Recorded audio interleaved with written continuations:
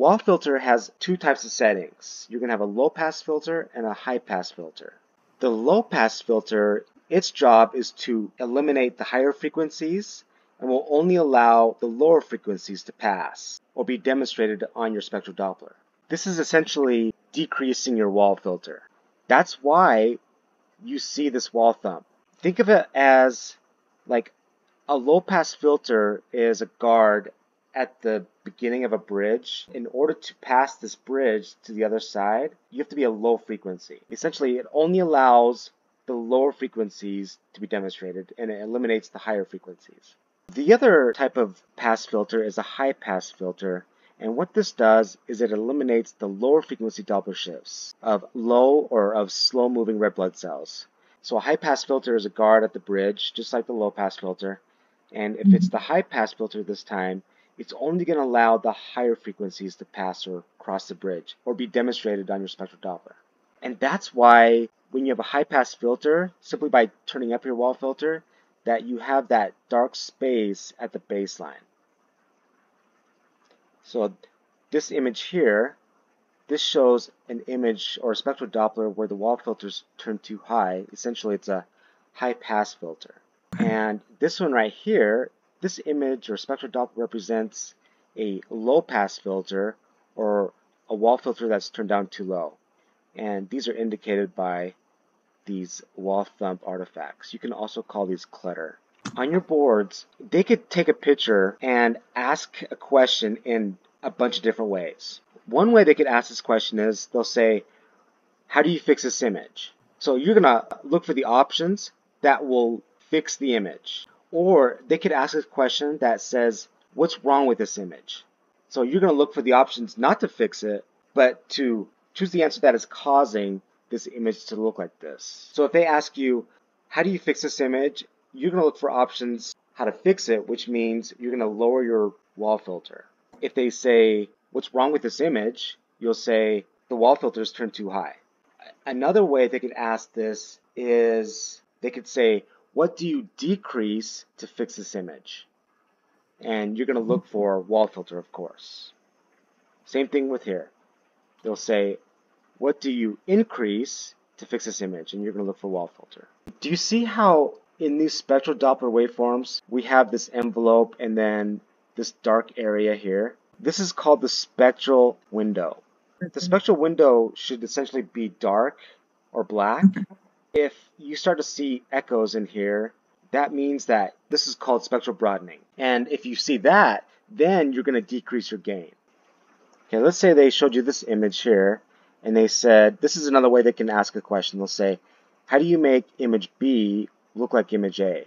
You would increase the wall filter because this right here has that gap, which means it's a high pass filter. How do you make image A look like image B? You would decrease wall filter, making it a low pass filter. Exactly. You would decrease your wall filter to demonstrate the lower frequencies at the baseline. Now, Look at these little echoes here below the baseline. What does that remind you of? This is actually not clutter. So don't confuse actual wall thump or clutter with something that's normal. Wall thump or clutter will typically mm-hmm. start at the beginning of the upslope of your spectral okay. Doppler waveform. Essentially, the beginning of systole right here. So you'll see it right there. These are occurring at early diastole. It's almost like a triphasic waveform where it goes up, then comes down below the baseline briefly, then up to start diastole. How would you make image A look like image B? This is the image that is going to change. This is the image that did change. So I'll briefly look at the one that did not change yet. Then I'll look at the one that was changed. If I look at it closely, look how we got these artifacts at the baseline. What do these remind you of? These artifacts are wall thump or clutter to make image A look like image B, you would decrease your wall filter. Anytime you see clutter or wall thump and they ask you what's wrong with it, you'll say the wall filter was turned down too low. And if they say, how do you fix it? You'll choose increase wall filter. Now, wall filter is a great way to eliminate ghosting artifacts. But a lot of times, if you're shown a question like this on your SPI, they won't ask you to adjust the wall filter they'll ask you to use something else. But let's just start with wall filter. I'll tell you the other one in a second. So if they showed you this type of image, what artifacts are demonstrated here? This is called clutter, or it's also called ghosting or tissue bleeding. These are essentially lower frequency Doppler shifts because either the patient is moving or anytime the artery pulsates, it causes the tissue in the surrounding area to kind of vibrate and that will cause this ghosting artifact. In order to fix it, you could do one of two things. If it says, how do you fix this image, and you look at your options, first I would say look for wall filter, and if if you don't have an option that says to increase wall filter, then you're going to look for the second alternative, which is decrease your color gain. So just like how when your wall filter is turned down too low here, you're going to have these lower frequencies here, right? This sonographer was probably evaluating an artery, which means at the beginning of systole, it's going to vibrate the tissue a little bit, and that's why you get these uh, wall thumps here. So that's the same for spectral Doppler as well as color Doppler. It's the same thing, and that's why if you were using wall filter, you would increase your wall filter to fix that.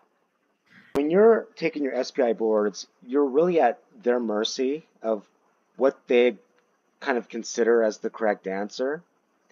Doesn't mean that it's the right way to adjust your image. For example, let's say they say, how do you fix this image? And your options are decrease wall filter, B, increase color gain, C, increase PRF, D was decrease scale.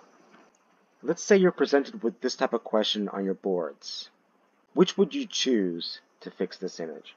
You would increase your PRF.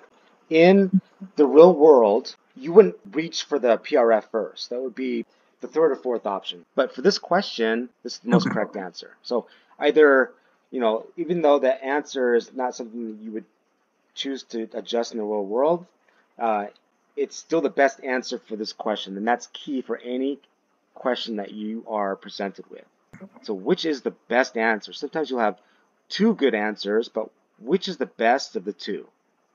Now, in reality, let's say that they said, how do you fix this image? And option A was increase color gain. B, increase wall filter.